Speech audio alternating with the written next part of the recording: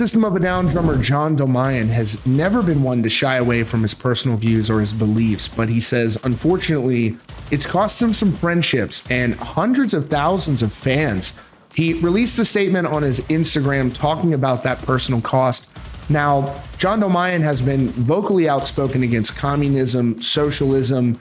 This is a statement he said on a podcast called Cancelled back in 2021 about his personal views and the impact it's had on his personal life. He said, I've been a victim of it. Let's just say that Essentia could have easily been made into a TV show or movie, and I had an agency working on that with me, and that agency had to take a step back.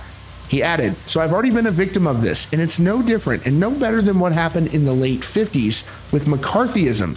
I don't believe in communism. I don't believe in socialism. I believe in social programs, but I also wouldn't condemn somebody. I wouldn't put somebody in jail for their beliefs. He went on to criticize the Black Lives Matter organization. He said, I don't like the Black Lives Matter organization.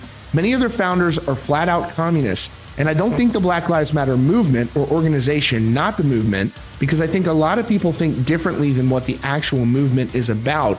I don't think they give two shits about Black lives. I think they are a democratic fundraising tool of a communist agenda. And if they really cared about Black lives, they would care about black on black violence in our inner cities. Now, John Dolmayan and his bandmates in System of a Down may have differing viewpoints, but they are still very much a band and still playing live. They were just announced for a big headlining show at Sick New World next year, which is already sold out. Now, John Dolmayan again is issuing a statement about personal friendships and losing a lot of fans for expressing his personal beliefs. Here's what he had to say. John Dolmayan said he lost friends and hundreds of thousands of fans for sharing his opinion. He wrote, I lost people that I thought were friends over the last few years primarily due to my unwillingness to accept the narratives they are now questioning the validity of.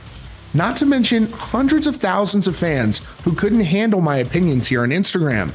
When you endeavor to help those in peril or guide those that are being duped, sometimes you lose because of it.